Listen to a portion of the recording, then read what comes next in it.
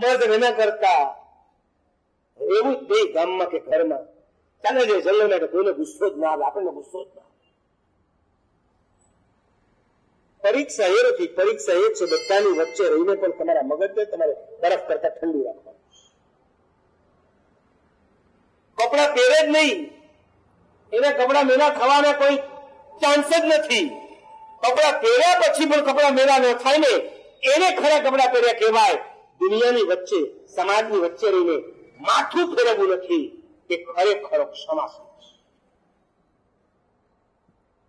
શ્રાદ્ધ વિધિ ગ્રંથમાં બહુ મજાનો શ્લોક આવે છે સત્તવ સહનમ, યૌવને વ્રતમ, દારિદ્ર્ય દાનમ.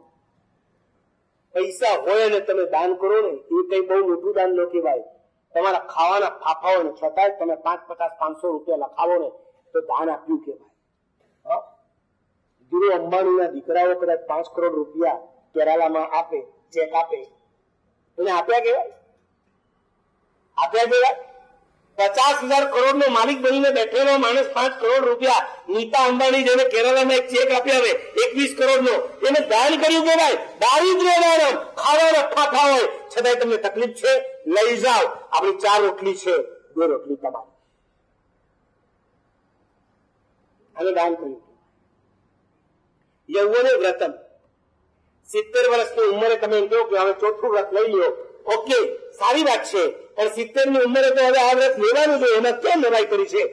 એકત્રીસ વર્ષની વયે લગ્ન કર્યાના બે જ વર્ષમાં તમે જિંદગી ભરના બ્રહ્મચર્યના વ્રત સ્વીકારો ને, આને વ્રત લીધું કહેવાય. યૌવન એવી રીતના લખ્યું સત્તમ સહનમ. તમે નમાલાઓ તમને ચાર ગણા સંભળાવી જાય, અને તમે સાંભળી લીધું એને સહન કર્યું ના કહેવાય. તમારી તાકાતો સામનો કરવાની, અને છતાંય તમે સામનો ન કરતા સહન કરો ને, ત્યારે તમે સહન કર્યું બોસનું સહન કરો, સ્વાર્થથી સહન કર્યું કહેવાય. દીકરાનું કે સ્ટાફને ત્યારે ક્યારેક સહન કરો. સંઘની કોઈ વ્યક્તિને તમે સાંભળી લીધું અને સહન કરો ને, અને સહન કર્યું કહેવાય. આને શક્તિ કહેવાય. હું ઘણી વાર કહું છું, બહેનોને શક્તિ કહેવાય છે. સ્ત્રી શક્તિ છે. અને પુરુષ સહન શક્તિ. આખી જિંદગી સહન જ કરવાનું લાચારીથી સહન ઘણું કર્યું છે ખુમારીથી સહન કરો. તમારા બોસનું જે સહન કર્યું ને, એ લાચારીથી સહન માણસ એને આપણે ખોખડાવીને કહ્યું તો આપણે કાંઈ ન બોલ્યા ભલા માણસ. તારો સ્વાર્થ હતો, નોકરી જતી રહેશે. મારા દીકરાએ જેમ તેમ બોલ્યો, તો મેં મારા સત્પિત્તો ન ગુમાવ્યો. હોય છોકરું છે. છોરું? પણ માવતરથી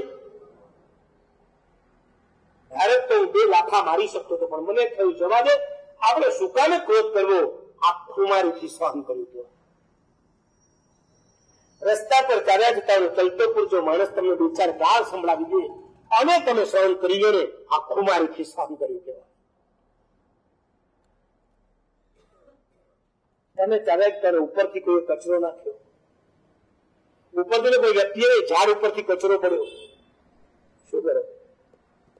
આખું ઝાડ હલાવી નાખો ખબર નથી હું એથી પસાર થાવ ઝાડ ઉપર, ડાળ ઉપર કોઈ પંખી બેઠું છે ને તમે ત્યાંથી પસાર થઈને ચરખ્યું. મેરેજમાં જવાના નવા નક્કોર કપડા પહેર્યા હતા ને એના ઉપર ચરખ્યો. શું થાય બોલો બોલો હે ઘરે બદલી દે એ ઝાડ ઉપર ચડીને ઓલા પંખીને પકડો. પકડો તો ખરો, એ આકાશમાં ઉડી ગયું. અને તમે સવારમાં બેઠા હતા ને અચાનક ચા આપતા આપતા ભૂલ થઈ ગઈ. ચા ઢોળાઈ, કપડા બગડ્યા.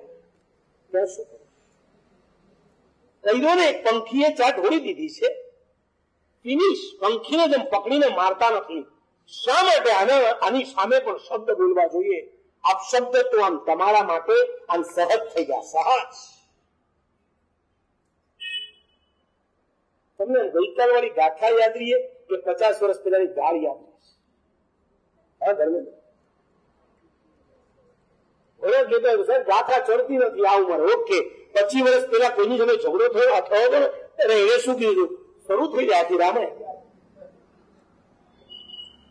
તમને યાદ નથી રહેતું, એવું નહીં કહો. જે રાખવું છે, એ રે છે. જે નથી રાખવું, એ નથી ગાથા યાદ રાખવી હોય તો રહી શકે પણ તમારે યાદ રાખવી જ નથી. ઉંમર પણ મારા જયારે સિત્તેર વર્ષે ગાથા યાદ રહેતી હતી. હવે તમને સત્યાવીસ વર્ષે ગાથા યાદ નહીં રહે? સાડત્રીસ સડતાલીસ ગાથા યાદ નહીં રહે? ગાળ યાદ રહીએ મેમરી લોસ છે મેમરી પાવરફુલ છે.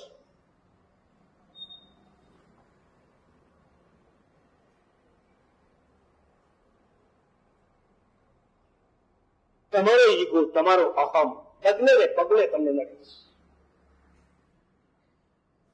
આમ તમે વાણિયા છો એટલે તમને કહું, દરેક જગ્યાએ ગણતરી હોય, દરેક એક તમારો પ્રસંગ આવે ને મેરેજ નો, ત્યારે તમે યાદ કરો કે ગયા વર્ષે કોના કોના મેરેજ થયા. એમાંથી આપણા ઓળખીતા હોય અને છતાં આપણને કોને કોને નતા બોલાય.